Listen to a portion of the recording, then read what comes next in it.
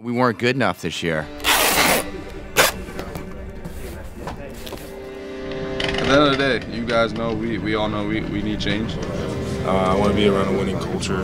I want to be around a winning teams. And that's up to Mr. Harris and the owners to, to figure that out. We didn't get it done on the field, so we've decided to go into a new direction. The Washington Commanders have hired Adam Peters. Extremely well thought of What's throughout up, the NFL community, has been ready for his shot. Congrats on DQ. Thanks, man. He's a stud, huh? You have an opportunity to create now. DQ's a, you know, he's a giant killer. Yeah.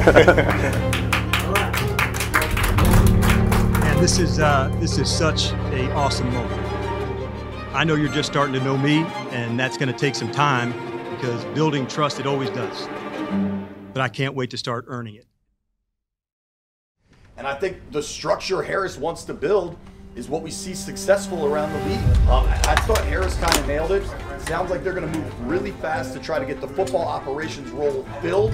Uh, I'm going to be leading that search, and uh, I'm going to be assisted by uh, my partners, Earvin uh, Magic Johnson, Mitch Rales, and David Blitzer, as well as uh, a couple very well-known uh, sports executives. Commanders are hiring two-time NBA Executive of the Year, Bob Myers. What Bob Myers' role is going to be is filling out the organization in every facet with people who are obsessed with winning and competing. Also, Rick Spielman, who was an NFL executive for many years, deep expertise in the NFL, combined with a guy like Myers who knows how to build a winning organization. That's what you want. First of all, I have to say that how incredibly honored I was that I was able to be a part of this group and whatever I can add to the process, what I've experienced, what I've done well, the mistakes I've made, and to share those uh, as we went forward to come up with the results you saw today. The Washington Commanders are hiring Adam Peters, the former San Francisco 49ers assistant GM. Yeah, you like the snow? Yeah, it was a very fast process. However, a ton of homework went into this process because uh, Washington, with new ownership, Josh Harris, is a really, really good job. All right. Commander's log. Well, good afternoon, everyone, and thank you for being here today. Exciting day for Washington, for our franchise. I am super excited to introduce Adam Peters as the next general manager of the Washington Commanders. Um, I want to thank Adam and his lovely wife Jen, nice to meet you, and two daughters uh, for choosing our franchise.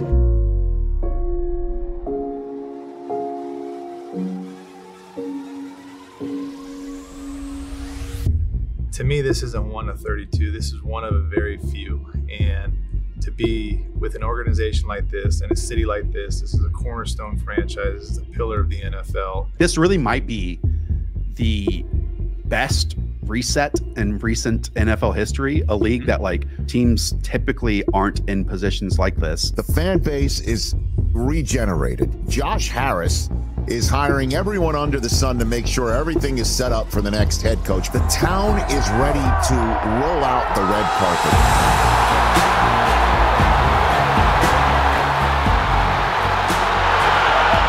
With all the resources we have, uh, everything. This is a very unique job that I could not wait to get to, and and it made it very easy for me when when they offered me this job. It felt right at home. It felt like a family.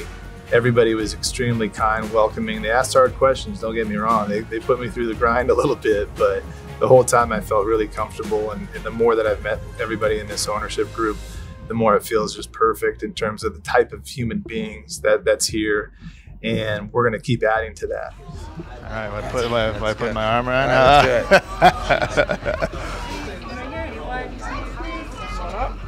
hey, Emmy, you say hi to Mr. Josh. Can you say hello? Alex, you, Alex, you give him a five. Are you coming home to our hotel? Yes, I will later.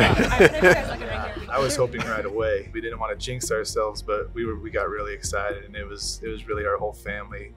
Uh, we have relatives out here. We have my sister's up in New York. Her mom's up in Jen's mom's up in New York. So being closer to them and uh, just the whole excitement of being out here was really really fun. You guys saying cheese?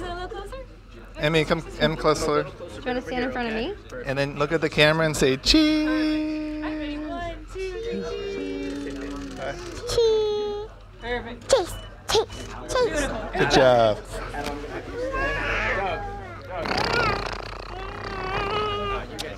I love, I love your kids are awesome. Yeah, they helped. So great. Hey, man. Thanks, man. Appreciate you coming. Yeah. All right. We got through it. Right? Reunited, right? Yeah. yeah. To Dream Team reunited. That's right. yeah, we go back. We go back. So yeah. This thing back to the top, man. Day one, I feel like it's just getting started because we did all the pressing and stuff like that. So I feel like I haven't even worked yet. So uh, that was that was interesting. But we're gonna start right now. We're gonna start. First thing is the head coach. We got to find a great head coach. We will find a great head coach. I'm confident of that. And then we're just going to work 24/7 all the way until the, that last day of the draft, and then we can take a breath. But we are not stopping. We're going to work tirelessly. We're going to leave no stone unturned, and we're going to find great commanders up in this free agency up period in this draft.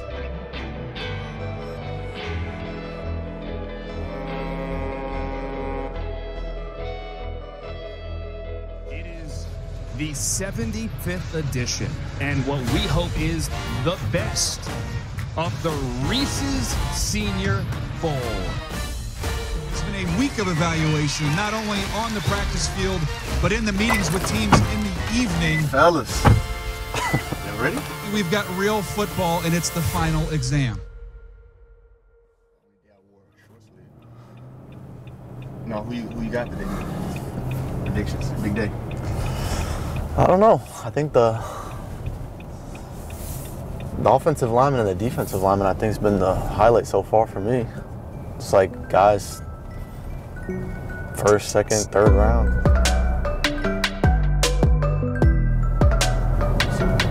So my name's Pete Piccarelli.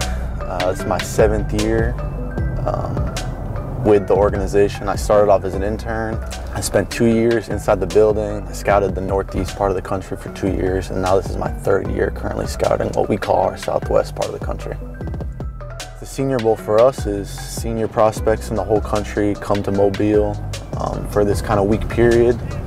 Um, it's really kind of like a, a common meeting ground for the entire NFL, but really like the, the main focus and kind of resource that we get out of this game is being able to come and see these players play in a real practice game type situation where they're full contact and hitting each other. This is really the most exciting part of the year for us because, you know, we spend guys um, that are on the college scouting side really spend four or five months secluded, uh, away from your families, away from home, uh, going to school calls and really studying and gathering a lot of information. So this is a really exciting time because it kind of feels like a work convention. What's up, man? How you doing, bro? How you doing? Thanks, buddy. Doing good. What's new with you? I was, we had some good contact on that one. Oh yeah. Yeah, that was good. That was good. Loud con. I think. We- Yeah. They must like each other. What's up, man? How you doing, Great, bro? Thanks, bro. Appreciate it. Sure. You doing all right? Yeah, I'm good. Yeah, I'm remember good. this crew, man. Look at these guys, man. I ran- I ran- I ran Y'all wearing different. Yeah, I know. James, how you doing, man? What are you doing? Good. Yeah, we did. That was not. That was not. I'm, I'm on camera too, so. Delete. Hey, buddy. Congratulations. Congratulations ah. You want to be one of a thousand people to text you. I didn't see Yeah. you soon enough. But How you doing, man? Proud of you. Yeah, thanks, man.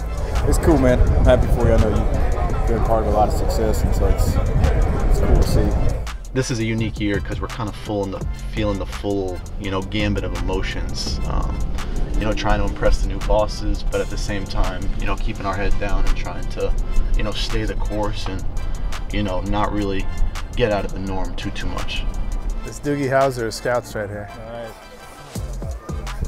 you probably didn't know who Doogie Howser is. How you doing, man? Nice to meet you. Good, Paul. Nice to meet you too. Yeah, you watching your brother? I am. Yeah, he's pretty good, huh? Yeah, that's cool. 6040 254.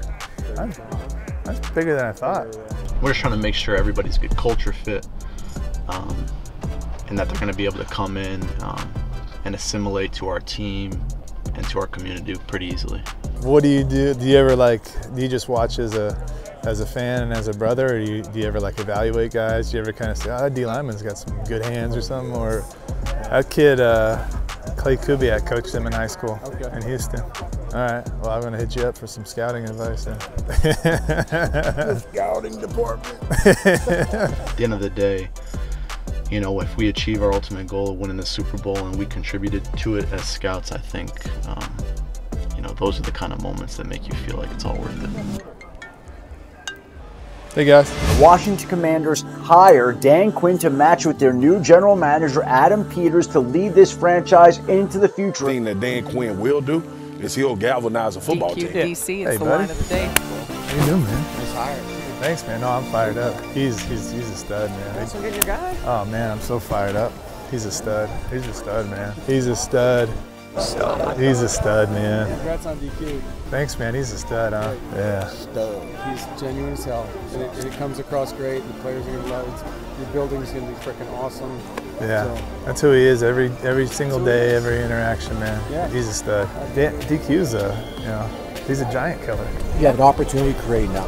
Yeah. Isn't that cool? It's pretty cool. A good hire, man. You hired a good person. Oh man, I'm fired up. He's like 15 and three against the NFC East. That came up in your research. Yeah. He's you're gonna be so fired up, man. You're gonna want to play your ass off for him. Yeah, yeah. Nah, he's a special dude, man. Yeah, I cou- couldn't be happier, person, man. a leader of men. Yeah, and he's a good ass coach too. Yeah. I mean, the ownership's incredible, dude, and uh, it's just been the experience has been really, really good so far. Guys have been aw- awesome, just supportive, communicative, and um, they're, you know, they're doing it for the right reasons, and um, they just want to want to make this team really good.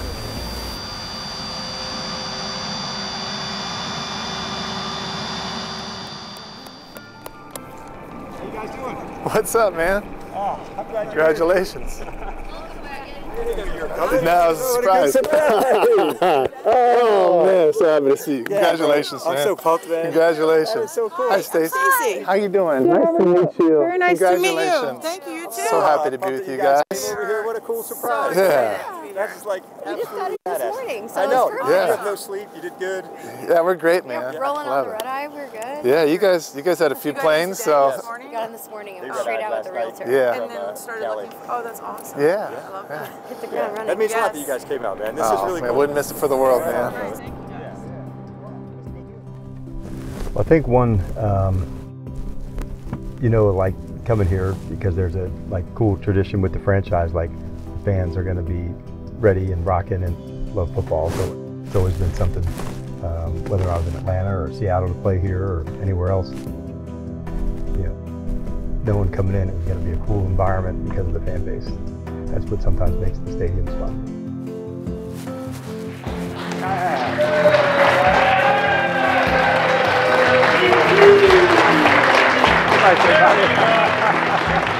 Keep the history coming, dude. What's up? What's up, Yeah, how you doing, dude? Yeah, back at you, bro. Yeah, I'm pumped to be here too, man. What's up, everybody? What's up, Doug? How you doing, dude?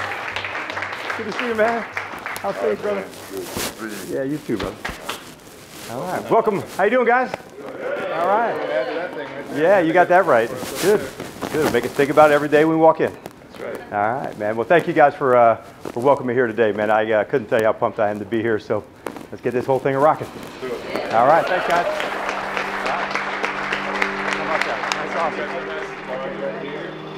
He's here, and you're back here. This, this is where I was. Um, I'm still moving out, so I don't worry about it. Um, and I, we got a little kids artwork. Coach, Hey, welcome aboard, man. I am. Uh, here, we, go. Here I, we go. it is definitely. Uh, it was awesome. I uh, thought of you a lot today as I walked into your old office and uh, looked out onto the field. As I'm sure you know that view quite well, and uh, just let you know, man, it was uh, really cool thinking about you driving up, uh, you know, to the building today, and uh, I am absolutely pumped to get rolling. I can still remember uh, you being nice enough to visit with me um, when I was in Atlanta and first came up to Charlotte to see you. And uh, we talked about a whole bunch of things. And that day meant a lot to me in getting ready uh, to coach my first team. And so the fact that uh, I get to come back and visit with you again, uh, it's cool as hell. Well, I got to tell you, I am thrilled for you. I remember what that was like, and I did not sleep for two days because I was so worried about the staff. Yes. And that's what you've done. And so, congrats on Kingsbury, Coach Kingsbury, Coach Whitt. You got a uh, that's an awesome start, and I, I remember how important that was for me Yep. because, as you know, it's not it's not us just being the head coach. You got to have a great coaching staff, and I know that Josh and everybody there is behind you as far as going to get those guys. So I thought that was great. I always wanted to coach someplace where football was really important. Me too. It's really important there. Yes. Because you you got the most powerful city in the world. The only thing that brings that city together is that football team. And I love that part of it because yes, there's pressure there. You Yes. win and all that, but you want it to be something special and there it's special. And that fan base, they're ready. They want to come back. They're ready to uh, and so I, I think you've got honestly, I think you've got the best coaching job in the world. Yeah, I couldn't agree with you more. And uh, it was interesting what you said. Jerry, on my way out of Dallas, about said the same thing. He said, football and the National Football League and the franchise is so damn important, you know, meaning here in Washington. He said, you do it there, you know, you light the whole thing up, and he said it just goes. And uh, he said it's really important to have a good kick-ass team, and you're going to do great, Dan. But it was just he almost echoed just what you said, how important this team is to this city and to this area. And uh, I'm with you. I'd much prefer to coach somewhere that uh, people are absolutely jumped about it and ready to go, as opposed to the other way. So, uh, yeah, bring it on. I'm, I'm I couldn't agree with you more, man. Well, I, I know what you're. I had, I had that feeling, that feeling you got right now. So I just want to applaud, welcome you, and say, hey, look, we're here. I'm, I'm probably the biggest fan you're of, of the commander, so I'm on board with you. Well- so I, I just I, I just want to call and congratulate you and say welcome aboard. And I think your ownership there, they all grew up in D.C. Yep. They love it, and so you're off to a great start. So Yeah. go get them, man. You already know I will, Joe, and I appreciate it, man. The call means a ton, and uh, I look forward to seeing you in person soon, man. You got it. All right. All right, man. Thanks. All right, All right Dan. All right. Bye bye. See ya. Coach Quinn, you ready to rock?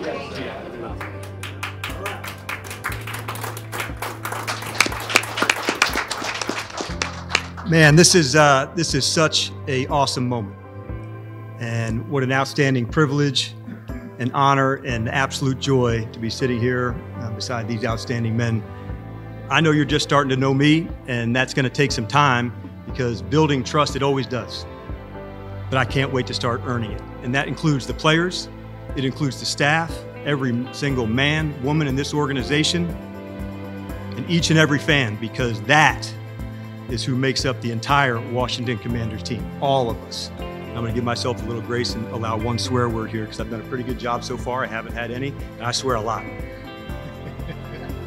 but there is nothing I enjoy more than doing hard shit with good people. And these guys here, they're some really good people.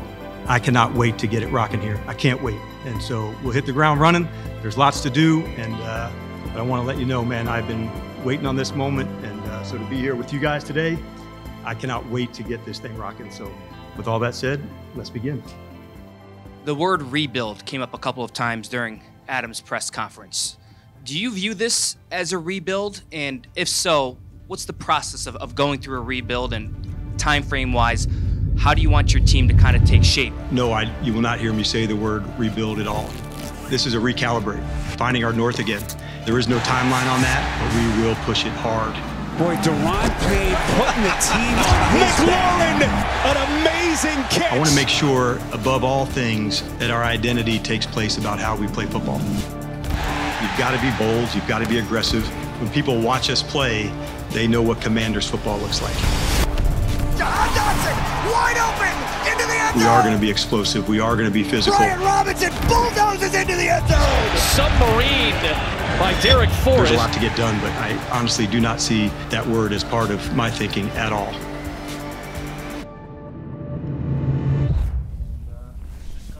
All right, sounds good. Just looking straight to you? Yep. All right. You know, going into this, I thought you know, for the last few years, I've said the five words that would have been hard were um, if I get another shot. And if I did, I wanted to make sure that there were a couple markers that I was looking for to have, you know, an ownership group that was going to support the team, you know, at just the highest of levels. I wanted to make sure I could partner up with a general manager, you know, to be shoulder to shoulder with, knowing that that's what this job takes, you know, at a championship level, from personnel to coaching and all the decisions that go through it. And I also wanted to be part of an organization and a fan base that like was absolutely going for it. And so you had to have those things in place. So that's why, for me, uh, this was the job. And as you're a head coach and you go into the you know the next phase, I certainly look back to find what went good. You know, what was the success? Where was the adversity? And then where do you learn? Some lessons you can study. Some lessons, man, you just got to live them, and you got to go through them. And that's when you have those moments and you've seen them and you've learned them. You want to take that lesson and man, you want to run like hell and go prove it.